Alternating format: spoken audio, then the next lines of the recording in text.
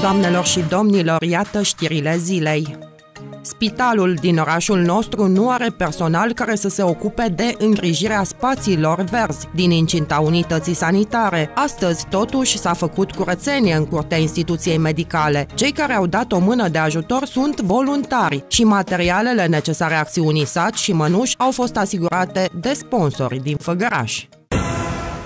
Plata serviciilor de salubritate se face într-un alt loc de la 1 aprilie. Salco mută caseria de la Ecoterm, acolo unde a funcționat până acum, în apropiere, pe strada Teiului. Se asigură un program pe două schimburi, astfel încât toți abonații să găsească caseria deschisă, indiferent de programul lor zilnic au început plombările de primăvară, ca în fiecare an, odată cu ieșirea ghioceilor și a ierbii, și pe drumuri ies la iveală gropile și crăpăturile. Primăria repară acum carosabilul găurit. Astăzi, utilajele de asfalt erau pe șoseaua de centură, în zona fabricilor din apropierea platformei Upruc. Plombările se fac din bani de la bugetul local, însă edilul orașului spune că a depus proiecte pentru asfaltarea a 90% dintre străzi.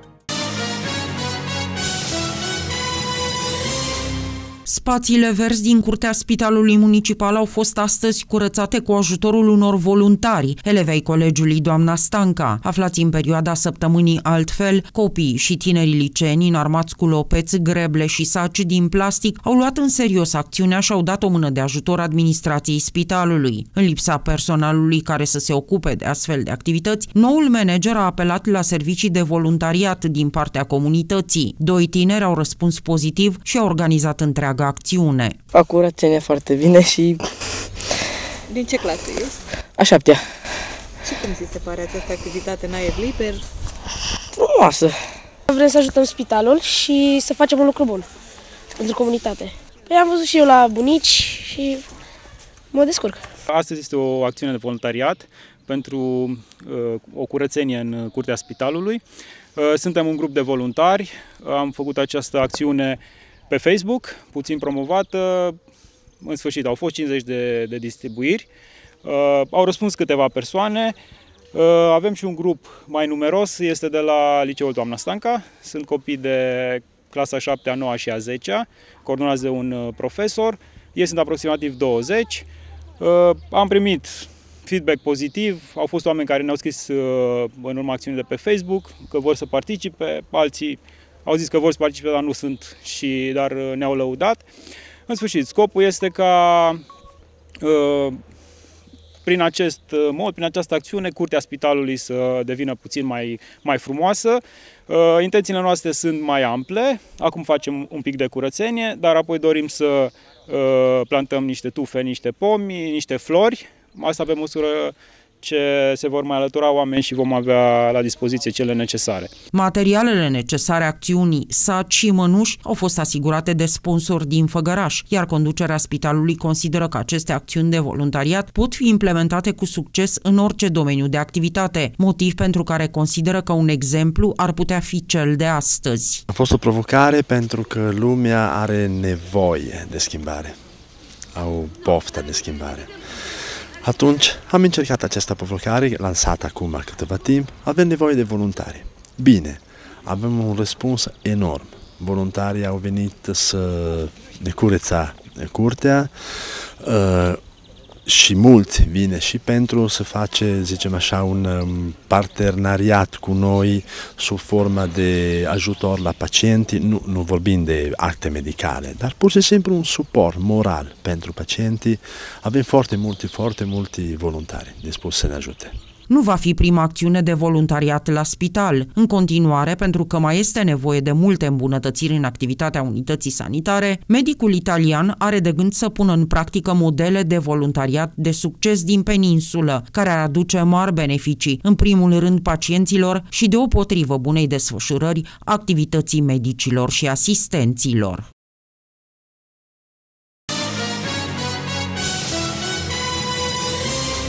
Abonații făgărășenei societății Salco trebuie să știe că de la 1 aprilie plătesc serviciile operatorului de salubritate într-un alt loc decât până acum. Asta pentru că de la această dată caseriaș își deschide un alt sediu. De la Ecoterm se mută peste drum, pe strada Teiului. Conducerea societății a amenajat un spațiu modern unde angajatele serviciului vor lucra în două schimburi pentru ca abonații care nu pot ajunge de dimineață la ghișeu să poată plăti după ce ies de la serviciu. Programul de încasări este este de luni până joi, între orele 7.30-18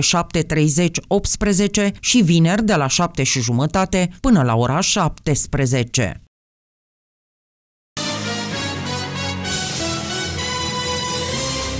E vremea să scăpăm de gropile din asfalt, iar timpul frumos se pare că ține totuși cu constructorii. Asfaltul din Făgăraș le întinde șoferilor multe capcane. Străzile din oraș au făcut cu greu față iernii, iar gropile și crăpăturile apărute în carosabil după topirea zăpezii se văd peste tot. Făgărășenii se întreabă când s-ar putea interveni pentru repararea străzilor afectate. Utilajele de asfalt lucrau de zor pe șoseaua de centură în zona fabricilor din apropierea platformei Upruc.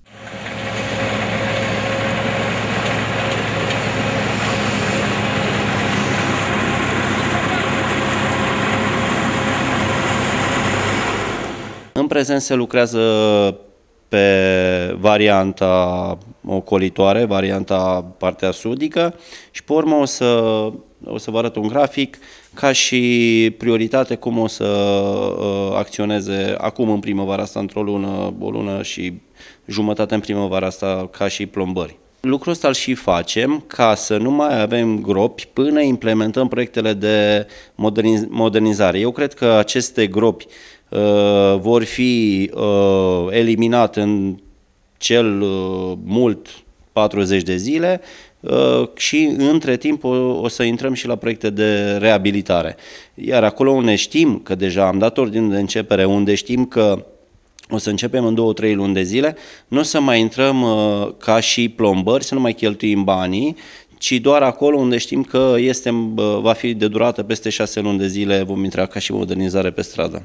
Întrebat de graficul lucrărilor și de finanțarea de care dispune primăria pentru proiectele de asfaltare, primarul Făgărașului Gheorghe Sucaciu spune că peste 90% din străzile orașului vor fi asfaltate cu bani obținuți prin finanțarea unor proiecte derulate prin Programul Național de Dezvoltare Locală, depuse deja la Ministerul Dezvoltării. Până atunci însă, pentru plombarea gropilor se alocă bani din bugetul local. Vom face plombările acolo unde străzile sunt într-o stare de degradată foarte mare, vom merge în continuare cu plombările. Ca atunci când implementăm proiectele, anul acesta o parte, anul viitor uh, uh, restul, uh, ca să avem străzile reabilitate prin plombări. Sursa de finanțare este bugetul local, contractul a fost licitat de anul trecut, știți că am lucrat în toamnă cât a permis timpul, Timpul, eu cred că în jur de 8 miliarde a fost tot contractul uh, pe cele 20 de mii de metri pătrați, pe cei 20 de mii de metri pătrați.